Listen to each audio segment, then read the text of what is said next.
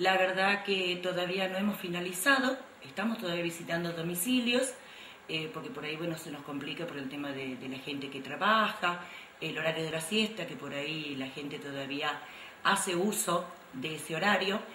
Eh, sinceramente eh, no esperábamos la bienvenida que tuvimos en los domicilios, la gente muy, muy amable, muy interesada en las propuestas.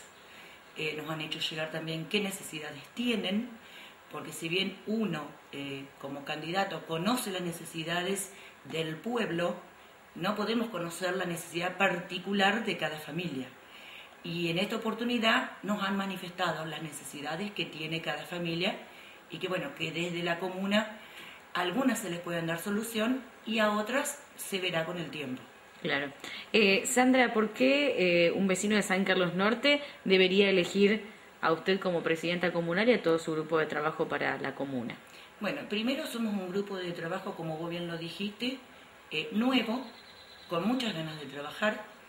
Yo soy una persona que toda su vida participó de las instituciones del pueblo y como todos sabemos, la comuna es la institución madre de todas las localidades traemos nuevas ideas, muchas ganas de trabajar. Eh, ya te lo vuelvo a repetir, somos gente de trabajo eh, y bueno, y queremos eh, mejorar el pueblo. Si bien yo la otra vez que Freddy me hizo la entrevista, dije que yo al pueblo lo veía bien y es verdad, pero siempre hay cosas que se pueden mejorar. En ¿Cómo cuáles, por ejemplo?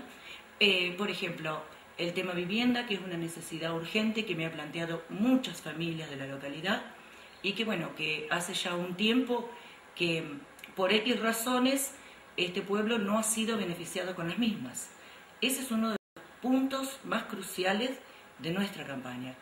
Que bueno, que si algún día llegamos a ser gobierno, eso va a ser eh, lo primordial a lo que nosotros vamos a apuntar. Bien, ¿cuáles son otras de las propuestas que, que ofrece? ¿Y cuáles son otras propuestas, Sandra, que tiene tu equipo de trabajo bueno, y, usted como, como, primera candidata de la lista? Bueno, eh, otra de las propuestas que tenemos es el mejoramiento de los caminos naturales, sean eh, urbanos como rurales, el tema de eh, los servicios públicos, que sean más eficientes que en la actualidad, el tema de brindarle a la población algún tipo de capacitación para los jóvenes, en el sentido de que eh, sean capacitaciones con salidas laboral. Por eso nuestro interés por ahí es em, mantener o abrir algún tipo de relación con el Ministerio de Educación de la provincia de Santa Fe a fin de conseguir cursos, eh, por ejemplo, para generar oficios, lo que es electricidad, lo que es carpintero, lo que es un plomero, lo que es un gasista, que esos oficios lamentablemente se fueron perdiendo con el transcurso del tiempo. Entonces, esa es una propuesta que tenemos nosotros para llevar a cabo.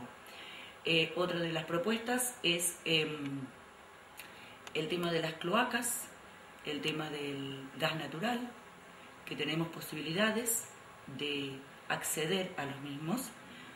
Eh, y bueno, eh, gestionar todo lo que se pueda para mejorar la calidad de vida de los habitantes de San Carlos Norte. Claro.